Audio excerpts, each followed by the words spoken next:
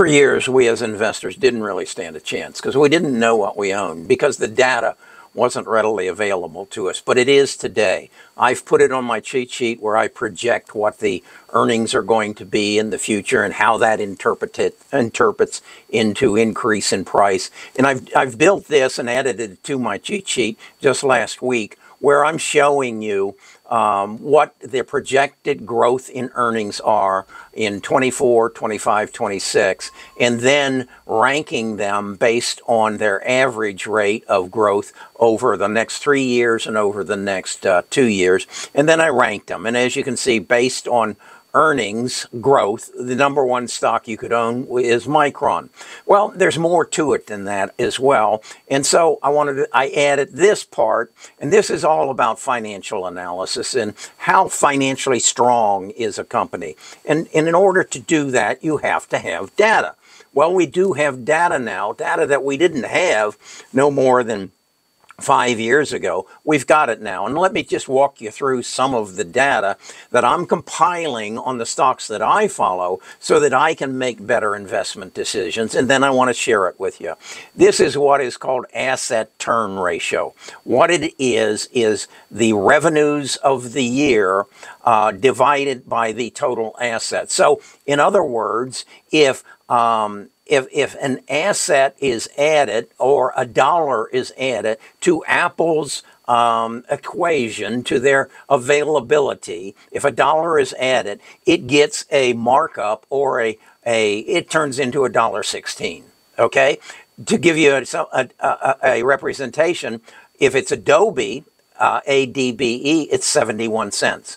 Now let's go on beyond that and say, what is the return on assets owned by, total assets owned by Apple uh, relative to income in essence, what it says, if you take all of Apple's assets and you put, put it up against their income, they make 30.75% on it. Adobe makes 17.9. So you're, you're, you're starting to see, even though they're, although uh, they're in different industries, we get a relationship between the two companies and we start to understand what do we own? Okay, let's go to the next category. This is uh, net income divided by equity. Again, equity in, includes above what assets is debt. So, how much does taking on debt benefit the growth of our asset relative to without it? Well, if we take on debt, uh, Apple growth becomes 160 uh, percent whereas Adobe's is 35. If it's just assets, not including debt, we're getting 30% on our money, 160. So it becomes very important or advantageous for Apple to take on debt because of, of, they can turn around and make good profits on it. And I'll show you why. Okay, so now we take the debt out of it and we say just capital, what is their return on capital? Net income divided by capital, they have a return of 46%, whereas Adobe has roughly half of that. Now, why are they so profitable? Because their gross margins are 45%, rounded up to 46, and their net margins are 26%. Adobe, on the other hand, has greater margins, gross margins, but again, that's because they aren't making a hard product like an iPhone. They're making software, and so they have an 86 so they have an 86.6% uh, gross margin, whereas their net margins are 25, more like what um, what apples are. So I've done that on every one of the stocks, and then I go through and based on my knowledge and my understanding of these numbers, I rate them. Rate them as to what they are. Now, something that I want you to look at, remember we said based on projected earnings, Micron is the number one stock we should own. But let's look on financial st- stability. Uh, when they bring on a dollar in assets, it creates a dollar 32, okay? As opposed to, or it, it creates a 32 cent increase in, uh, in revenues, whereas for every dollar that Apple brings in, they make a dollar sixteen, as opposed to Micron's thirty-two cents. So not as good. Re, uh, return on assets. Micron is a negative. Well, why is that? Because right now they're not profitable.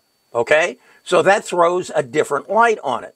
Uh, what's their return on equity? A negative three, because again, right now they're not profitable. But why are they our number one stock? Because over the next three years, they anticipate becoming profitable because all of the, the GPUs that are going to go into data centers have to have memory chips. So they're projecting, even though they are a D rated stock today, that they're going to have some tremendous earnings growth, which will change all these numbers. So now, with that piece of information, do we have a better understanding of what we own?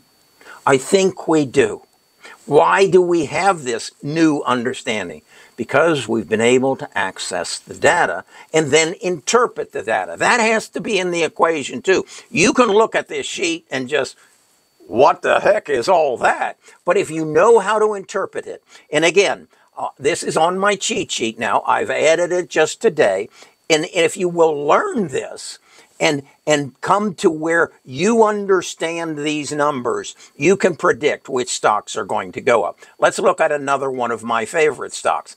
Rated number 48 out of 49, that is AEHR. But let's look at a dollar invested into this company turns into 59 cents. So think about that this way. Where would you have to go to give a, a dollar to a bank or any place else and they say, we'll pay you 59% interest every year from this point on? That's what that's telling you. On the other hand, if you put it into Apple, they're saying we'll pay you a dollar sixteen rather than 59 cents. So let's go on. Here, we find, though, that AEHR is giving us almost as much as Apple on return on assets. What are assets? Cash, equipment, and such. What is what's the difference between assets and equity? We add borrowed money.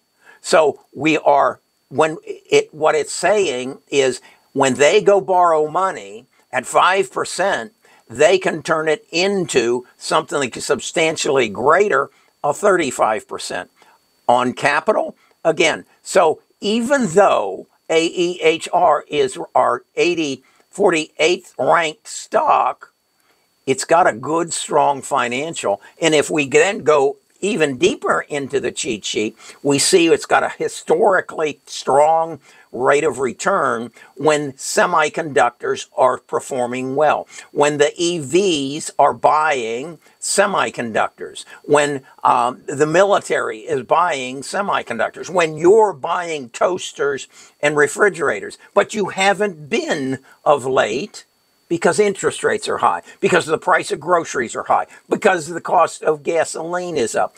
Those are now coming down. So the semiconductor business will go up. So that is why AEHR is a B here, but poorly ranked over here. That's what I do on every stock. Now, the one you're asking about, what about NVIDIA?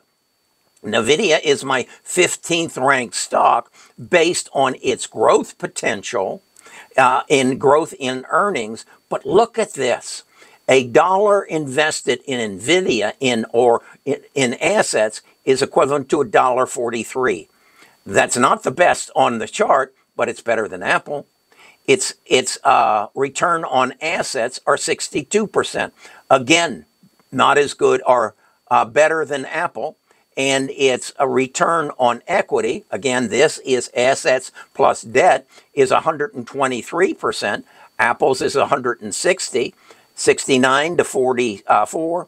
And you can see now why, and, and gross margins are 75 and net margins are 55. That's why NVIDIA is an A plus, and that's why it's the 15th ranked stock in on my cheat sheet. So that's how I interpret stocks. That's how I analyze stocks. And what you need to do is if you want access to this, come join our our tribe, sign up for our platinum program, and get uh, and and get it free for 14 days, and then educate yourself. You can learn so much just if you digest this.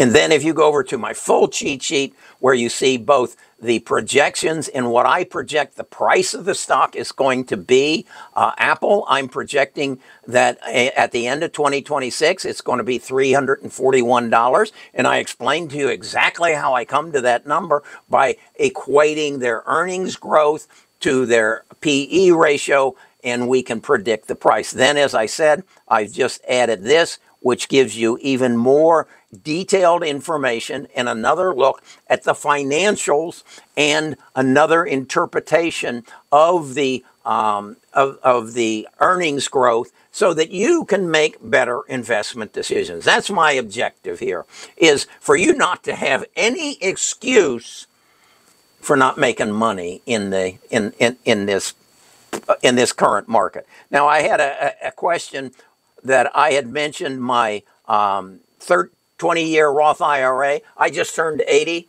and so I'm funding my Roth IRA for the next 20 years. And I have basically said that if, if, you'll, if you'll follow my path and you'll put uh, $1,400 into Apple, Microsoft, Amazon, Google, and Meta uh, every year for the next 24, 20 years, if you follow along with me, our objective is to repeat what happened the last 20 years, and that is our Roth IRA of $6,000 a year turns into $4.092 million of tax free income. That's what's on my cheat sheet. This is a historical study of all the stocks over since 1999. What was their 10 year, their 5 year, their 10 year, and their 20 year average rate of return. A- am I saying that history will repeat itself? No, but it certainly is a good guide as to what might happen. Then, if you can understand and, and educate yourself to where you understand the, finan- the, the, the financials and the technicals, you can make a lot of money in this stock market because the world is about to change for the better, I might add. We're going to go into a deflationary period as we replace human beings with robots so that our cars become cheaper, our, our running shoes become cheaper, even the eggs become cheaper because it's, it's, it's directly from the chicken to you. There's no human beings in, in between. So the price of eggs will come down in the future, as will the price of gas. As, as Elon said, by 20, I think he said 2035, there'll be more humanoid robots on this earth than there are humans. And that will become deflationary. And if you can keep up with and, and, and, and understand the financials of the stock market and the stocks you own, please learn what you own and become educated and then make good financial decisions. I want to help you. That's what I do for my life, trying to help you make better decisions Go to Best of Us Investors, sign up for the 14 day free trial, and you got 14 days. See if this can help you, or if it can't, go away. Okay. We're gonna we're gonna modern we're going to mechanize this even more and make it easier. I'm going to invest a bunch of money into this and build a new website and make it easy for you to understand. I'm Kerry Grinkmeyer. I'm a retired financial advisor. I work for you.